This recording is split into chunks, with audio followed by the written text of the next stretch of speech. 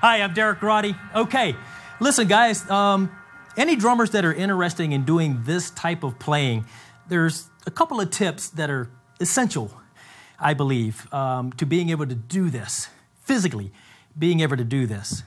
The first thing is hydration, water, not beer, not sodas, water. You know, it falls from the sky for a reason.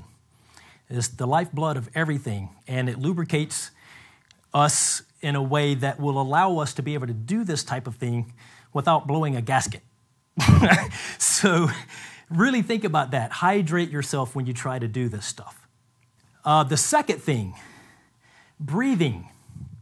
Okay? Um, most people, whether it's drumming or you're in construction or you're hammering nails all day, most people, when we do something that is strenuous, will hold our breath I watch guys all the time pick up a box. it's not what you want to do when you're doing this kind of physical activity. So, breathing is something that I've, I've felt that's very, very important because if you don't have oxygen in your, in your blood, you're going to cramp. Another tip um, that I, I like to give is just simply being aware. If you're aware of a problem, you can fix it, right? And a lot of these things that I'm mentioning now are just things that just go unnoticed. So, what I would do is I write them on my snare drum. Breathe, sit up. That's an important thing because I see a lot of guys doing this. You don't want to have any back problems. Sit up, um, drink water. Um, these are all very, very important things that just, again, if you're not consciously thinking about them, they just kind of float away in the wind. so, especially in a live situation when you got everything else you're thinking about and it's just helpful to be able to put yourself into a place of actually listening to yourself play the drums as opposed to actually playing them. And that's like another little tip that I give myself a lot is I, I, I tend to like to play as if I'm already hearing back the recorded drums.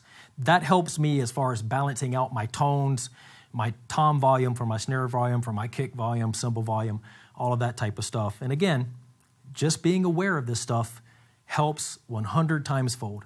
Now, breathing. How do I get better at breathing? Very simple. In four bars, out four bars. One, two, three, four, out, two, three, four. In, two, three, four, out, two, three, four.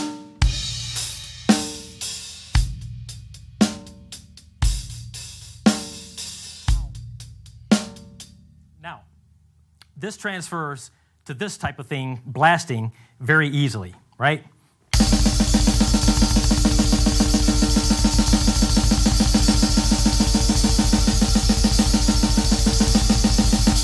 Right? Very simple. Again, very overlooked. Okay, so balance is another big key factor in being able to do this because, you know, double bass, guys that don't play double bass, they're left leg typically becomes a human kickstand on the hi hat. And then we got all this going on, and you're anchored to the ground, right? Um, the reason I feel balance is important is when you're doing double bass or you're doing any of this kind of blasting or anything, is one foot goes up, the other comes down. One up, one down, one up, one down. You're constantly shifting your weight, right? So, if that's the case doing this, that means that you need a strong core. You need to be able to center yourself on the seat and not have to rely on your legs at all to balance, okay? So here's an exercise. Sitting on your drum throne, take your sticks, put your hands in front, right? And just without leaning back, right? What you want to do is just pick your feet up.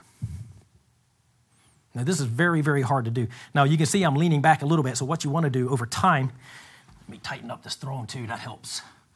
You don't want to be moving all around.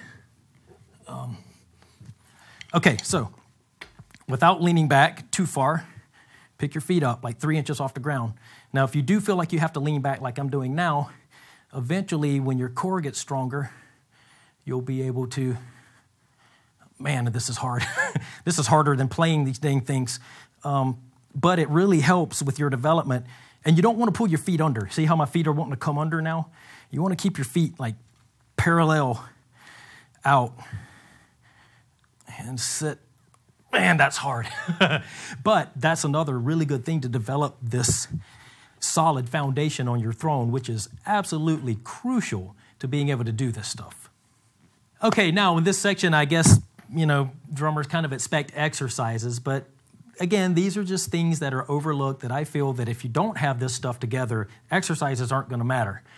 You know, you can be, do exercises till you're blue in the face. If you go on stage and you're holding your breath and you're not breathing, you're never going to be able to get through this, okay? Um, and again, if you want to learn more about the blast beat stuff, you want to get into the exercises, I have a whole course here at Drumeo. Head over to drumeo.com, check them out.